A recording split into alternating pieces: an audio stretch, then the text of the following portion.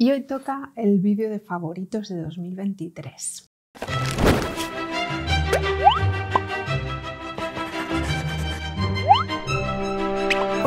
¿Qué tal? Hoy toca el vídeo de favoritos de 2023. Sé que os gusta más el vídeo de cosas que no volvería a comprar, pero ese pues ya lo veréis la semana que viene o dentro de unos días. Eh, este año la verdad es que no he comprado demasiadas cosas. No lo he hecho. Puede parecer mentira, pero es así, porque me ha costado mucho seleccionar tanto los favoritos como los odiados. Me ha costado un montón porque no, no, no, tenía de dónde sacar de cosas que he comprado este año y de hecho habrá cosas que, que no son cosas que he comprado este año. Entonces eh, voy a empezar por cuadernos. Voy a empezar por cuadernos que van a ser a, ver, ya sabéis cuáles han sido mis cuadernos favoritos este año. Unos son agendas, otros son cuadernos. Son agendas que se pueden tratar como cuadernos, por tanto estoy muy contenta con ellos.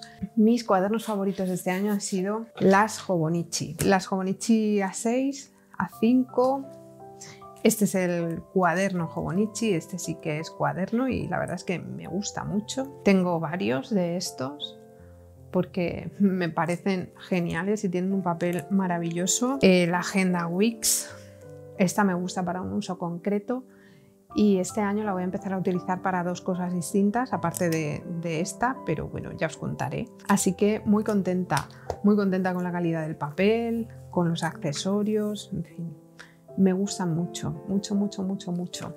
Así que eh, estos cuadernos son mi descubrimiento del año, desde luego. Y no sé por qué no los había comprado antes, supongo que porque eran muy, muy, muy caros. Porque la primera vez que los vi, no sé si fue hace dos años, costaba un cuaderno 200 euros. Y dices, a ver, no, en Amazon, claro, eso sí, en Amazon. Luego ya te das cuenta de que no cuestan eso en realidad. Otra de mis cosas favoritas este año ha sido este estuche. Eh, en concreto, este no. Bueno, sí, este me ha gustado mucho, pero más el grande, porque tengo cuatro para almacenar casi todas mis plumas, menos las plumas que no me interesa almacenar. Y estoy muy contenta, estoy muy contenta con el espacio que ocupan, con que quepan tantas plumas, con que estén tan bien protegidas. Si me hacen falta, pues las cojo, las saco de ahí, las meto en este. Este no pesa nada para llevarlo por ahí, caben 10 plumas, pero aún me gusta más para llevar por ahí este. Es cierto que este no lo compré, este me lo envió la marca, pero es maravilloso. O sea, este estuche una vez lleno es que no pesa nada. No pesa nada y puedes llevar 20 plumas dentro sin ningún problema. Y aquí dentro están otros de mis favoritos del año. Bueno, por un lado, la Hondian C3.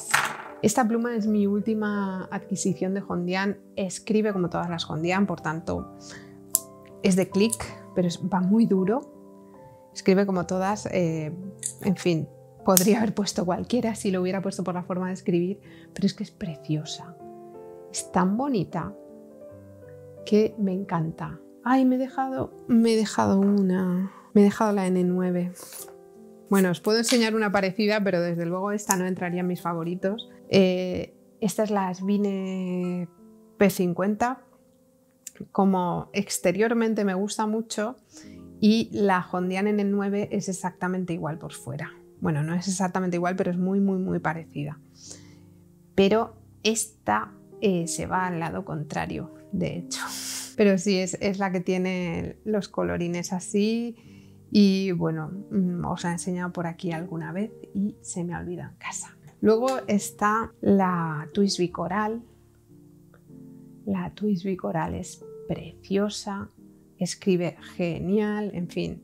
Todas las Twisby son bastante similares, aunque sí que hay una Twisby concreto que se va a ir a mi vídeo de cosas que no volvería a comprar porque me tiene harta. Pero bueno, esta no es el caso de esta. Esta es preciosa y funciona genial y además las Twisby Ecote me parecen mucho más cómodas a la hora de escribir que las Twisby Eco. Pero bueno, ya le queda poca tinta, ¿eh? La tengo que cargar. Luego están las Moonman. Las Moonman A1. Esta es mi favorita del año. Esta es maravillosa. Que, eh, bueno, sabéis que es una copia de la Pilot Cables, por tanto, si una os gusta, os van a gustar el resto. Eh, son plumas muy cómodas, plumas muy rápidas de usar Y estas tienen la ventaja de que si las pierdes no, va, no te va a dar un infarto, porque valen 20 euros, menos incluso, porque yo creo que esta la conseguí por 16 y esta por 17. Entonces, eh, pues es una buena pluma para empezar. También este estuche me ha gustado un montón. Es verdad que este tampoco lo compré, que este me lo mandaron, pero es precioso. Es muy guay, es muy cómodo y es el que llevo ahora siempre encima. Siempre, siempre llevo este. Lo cargo con las seis plumas que más me apetece usar y lo llevo encima. De hecho, ahora está con todas las Twisby porque lo uso más en casa. Y cuando está en casa, está con todas las Twisby. Luego, eh, bueno, tengo esta porque la otra me la he dejado en casa.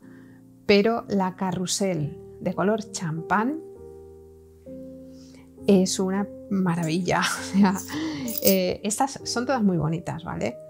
Todas me gustan mucho, pero las últimas que me han mandado me las han mandado en Plumin M. Y aquella es la última que me mandaron F y yo no sé por qué escribe maravillosamente. Es la que más me gusta de todas las que tengo. Entonces, pues aquella es un 10. Y, esta, pues es que es el mismo diseño, ¿vale? Pero el color es diferente y como no me la he traído, pues os enseño esta. ¿Cuál ha sido el top de mis cosas favoritas de este año? que repetiría si no fuera tan caro y que mm, me ha encantado y que quiero más, la Pilot Capless.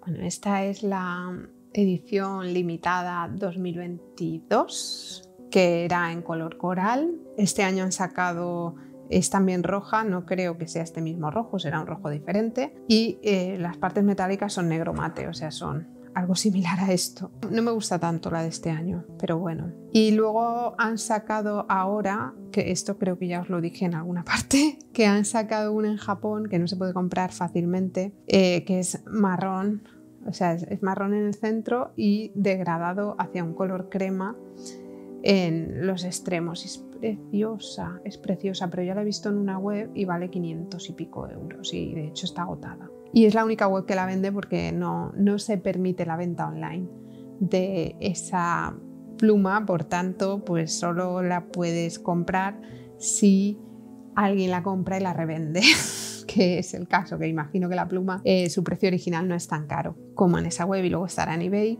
pero también estará 500, 500 y pico euros, porque la morada que sacaron el año pasado, que era blanca y hacia los extremos era morado, pues también valía 500 mm, euros, 600 euros, una barbaridad. Pero bueno, mm, de ilusión también se vive y a lo mejor pues en algún momento la consigo porque es que me parece preciosa porque además el cuerpo es mate, no es brillante.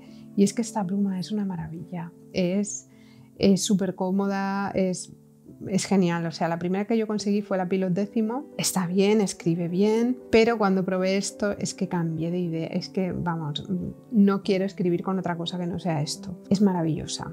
Y le cambié el plumín, eh, plumín F. Si vais a comprar una Pilot Capless, no es fácil conseguir las NF, pero se puede. Y no os recomiendo el EF. Aquí en España las venden en F y en M si no recuerdo mal pero por ejemplo en Cruzalt podéis cambiar, podéis pedir que os cambien el, el plumín y los tienen, si no todos, prácticamente todos, menos el FM que es como un intermedio entre F y M que venden solo en Japón. Y podéis pedir que os pongan LF, no lo hagáis. A mí no me ha gustado nada LF, pero bueno. Ahora lleva el plumín que llevaba mi, mi pilot décimo, que es el F, y estoy muy contenta con ella. Y la pilot décimo, en cuanto acabe ese plumín F del demonio, la limpiaré y la guardaré hasta que pueda conseguir otro plumín F. Pero esta es mi ganadora de 2023. Mi ganadora absoluta y total. Bueno, seguida de cerca por estas dos, que además pues en precio mmm, son imbatibles. En fin, pues nada, esos han sido mis favoritos de este año. Decidme abajo cuáles han sido los vuestros, qué es lo que más os ha gustado de lo que habéis comprado, qué me recomendáis y cuál es vuestra wishlist para el año que viene, porque yo, de momento, yo wishlist no tengo ninguna, aparte de esa pluma maravillosa que no sé si conseguiré en algún momento. Espero que os haya gustado, os dejo abajo redes sociales, os dejo Discord, os dejo Threads, os dejo Instagram. Nos vemos por aquí pronto con otro vídeo y espero que paséis una muy buena semana. Hasta luego.